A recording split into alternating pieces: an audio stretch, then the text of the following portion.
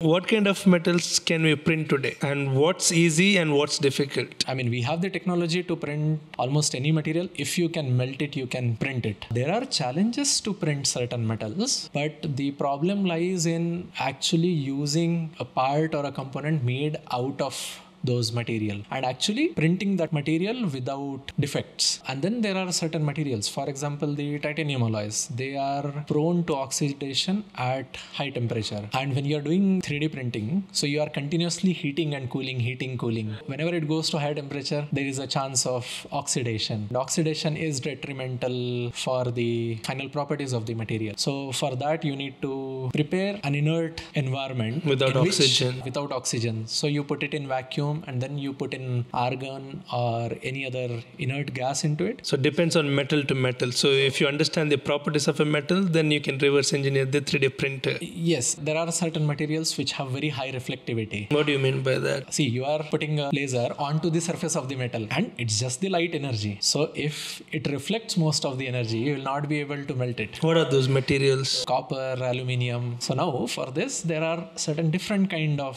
lasers. So let's say green laser laser is used for that. Or if you want to melt copper you can also use induction based heating or a wire arc type uh, additive manufacturing process. So based on the material and the application you would be choosing the particular process. Again there would be variations in the manufacturing right? But we would want to keep those variables less right? So mostly we stick to this infrared laser of the wavelength about 170 nanometer. Then there are some metals let's say tungsten. It's a very high temperature metal you will have to melt it at 2000 degree? 2000 3000 degrees. For example the laser that we have it's a 3 kilowatt laser. I think with this we can even melt tungsten, molybdenum, all those high temperature metals. But then, as of now, we do not have an application to it. Which is the mostly used uh, metal for printing? I think steel and some of the nickel alloys, some Inconel alloys. So let's say Inconel 718. Inconel means? It's again a nickel based alloy which has nickel, chromium, cobalt, iron, few other things. Finding a right ratio and making an alloy is another craft. Yeah, yeah, yeah. It's amazing how humanity discovered a alloys, like you know, playing with the different melting point and combining them, creating materials with the different properties. And just